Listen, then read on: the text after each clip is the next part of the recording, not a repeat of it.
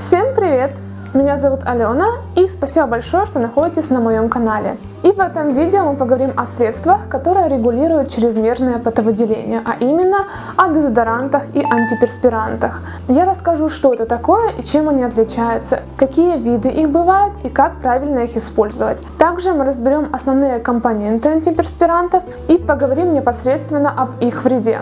И в конце видео я расскажу, что такое минеральные или солевые дезодоранты и действительно ли они безопасны для здоровья. Первым делом нужно разобраться, что такое дезодоранты и антиперспиранты. Все мы знаем этих два понятия, но часто их путаем. Честно говоря, между ними разница просто огромная. У нас в подмышечных впадинах очень влажная и теплая среда, соответственно, там любят размножаться бактерии. Именно они испускают вот этот вот неприятный запах. А дезодоранты – это средства, которые направлены на предотвращение размножения бактерий, а собственно устранение запаха. Нет бактерий, нет неприятного запаха.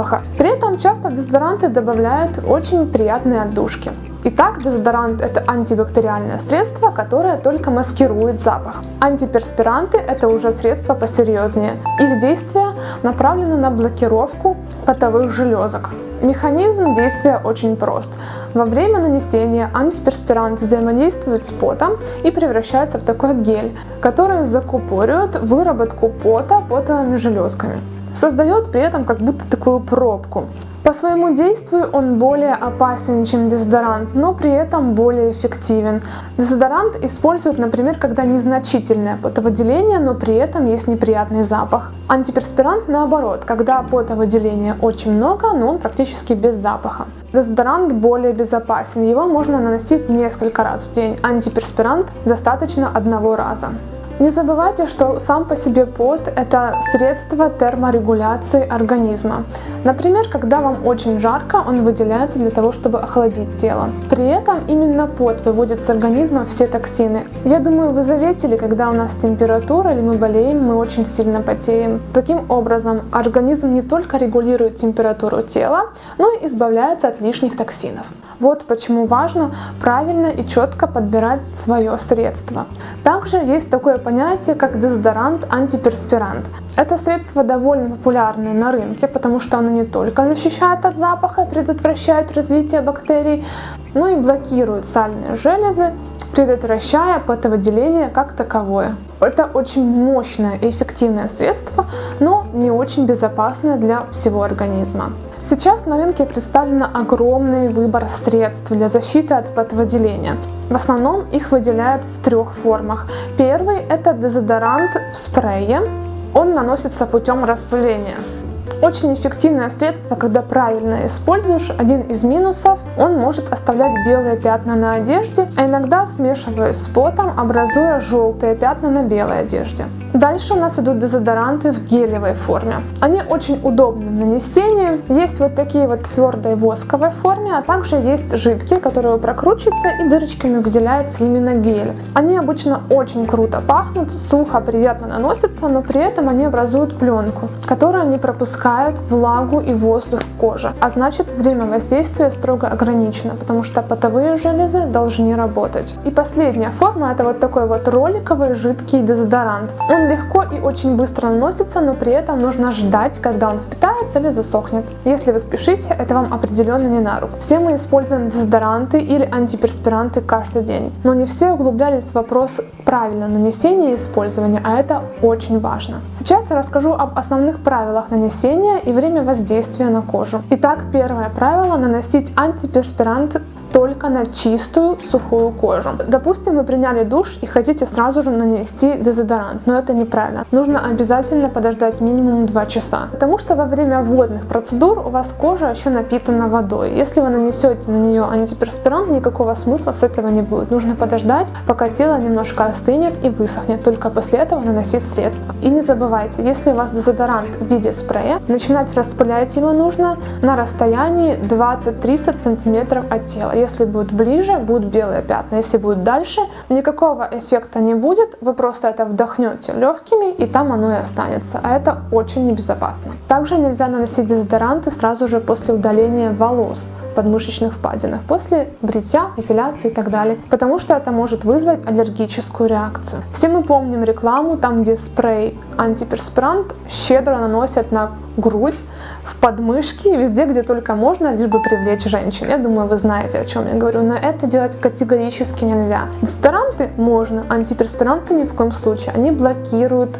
выработку пота, а все-таки он регулирует температуру тела. А значит антиперспиранты мы не наносим на грудь, лоб, стопы и спину только в подмышечные впадины. Еще важное замечание. Если вы занимаетесь спортом, лучше использовать дезодоранты. Все-таки вы выводите токсины. Вам блокировка желез ни к чему. Тем больше пота выводится, тем больше токсинов из вас выходит. Если же вы хотите защитить себя от неприятного запаха, используйте дезодоранты. Антиперспиранты отложите куда-нибудь в сторонку. И обязательно все средства мы смываем на ночь. Обязательном порядке. Дальше я хотела бы поговорить об основных компонентах и о составах антиперспирантов и дезодорантов. В чем же подвох и почему это средство считают канцерогенными? Основным веществом, которое блокирует выработку пота, является комплекс алюминия и цинка. Самым основным и самым загадочным компонентом являются соли алюминия. Именно эти вещества блокируют потовые железы и помогают компонентам очень быстро впитываться. В составе любого антиперспиранта минимум 20% солей алюминия. Не забываем, что это тяжелый металл, который имеет свойство накапливаться в организме. Именно этот компонент вызывает бурю разных споров по поводу безопасности и небезопасности дезодорантов. Есть мнение, что именно соли алюминия при определенной концентрации способны вызывать рак молочной железы. Также бытует мнение, что чрезмерное использование антиперспиранта может вызывать болезнь Альцгеймера. А уловили эту зависимость за счет того, что при болезни Альцгеймера алюминий в чрезмерном количестве накапливается в мозге человека и вызывает его разрушение. Конечно же, это все официально не доказано но и опровержений этих фактов тоже нет.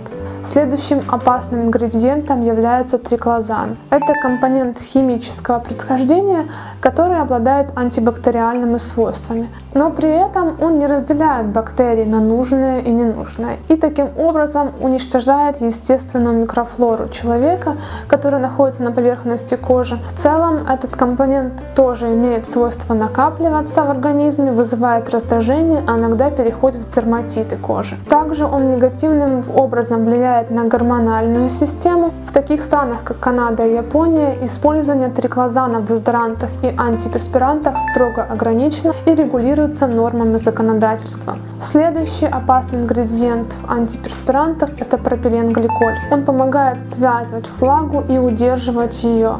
По сути, это увлажняющее средство, но при этом опасность его заключается в том, что пропиленгликоль в несколько раз превышает впитываемость вредных компонентов в кожу. Еще один, казалось бы, безопасный, но очень коварный компонент – это тальк. Это легкий минерал, который хорошо адсорбирует, то есть впитывает влагу. В основном талик используется в производстве таких пудровых текстур. Это, например, тени для век, это пудра для лица и так далее. В частности, это сухие антиперспиранты и дезодоранты. Все бы ничего, и в общем-то этот компонент безвредный, но все дело в том, что в нем могут содержаться асбестовые волокна, а они находятся в списке одних из самых опасных канцерогенных веществ, которые могут вызывать рак. При этом содержание асбестовых волокон в тальке не регулируется. Вот в чем весь подвох и вот в чем вся опасность. И последние два компонента это парабены и спирт. Парабены это консервирующее средство, которое продляет срок годности любого косметического средства. Все мы знаем, что спирт у нас уничтожает бактерии, он быстро высыхает, но при этом пересушивает кожу и может вызывать раздражение. В среднем его в составе около 40%. Еще раз повторюсь, все эти компоненты в основном присутствуют в антиперспирантах. Но при этом, например, прямая зависимость возникновения рака и использование антиперспиранта с алюминием не доказана. Я извиняюсь сразу, что вас напугала разными вредными компонентами. Итак, следующий вопрос – это органические или натуральные антиперспиранты, дезодоранты. Бывают ли такие? Действительно ли они не вредят здоровью человека? Итак, разузнав об относительном вреде антиперспирантов на человека, ученые США первыми разработали натуральный дезодорант. Вместо солей алюминия дезодоранты и антиперспиранты сделали на основе минеральных солей. Их называют еще квасцами. Если сильно прям внедряться вопрос, в минеральных солях вещах тоже есть алюминий но он в неактивной форме и не вступает в реакции. Он не может проникнуть вовнутрь. К счастью, у нас уже на рынке есть натуральные дезодоранты, антиперспиранты, в которых в составе абсолютно нет алюминия. В любой форме. Активно, неактивно и так далее. Его просто исключили или заменили на другой компонент. При этом на эффективность дезодорантов это никак не повлияло. В основном натуральные дезодоранты в виде такого вот соли. Самым популярным натуральным дезодорантом является Crystal или Кристалл. Это такой солевой дезодорант, который выпускается в твердой форме и напоминает действительно какую-то кристалл соли. Чтобы его нанести на кожу, нужно его размочить в воде и только после этого нанести. При этом ни один компонент не накапливается в организме. Сейчас солевые дезодоранты натуральные достать не так уж просто, но все дело в том, что они стоят недешево. Ну, я считаю, что на здоровье не экономит.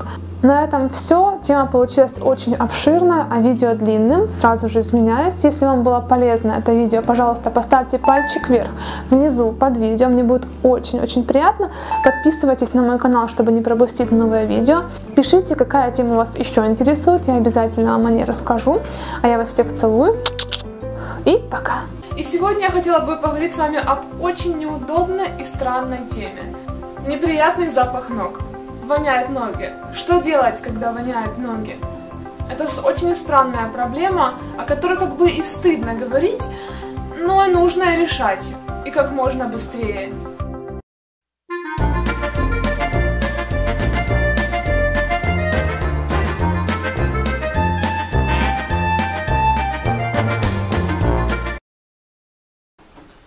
Видео я хотела бы поговорить о причинах неприятного запаха ног и способах их устранения. Основными причинами неприятного запаха ног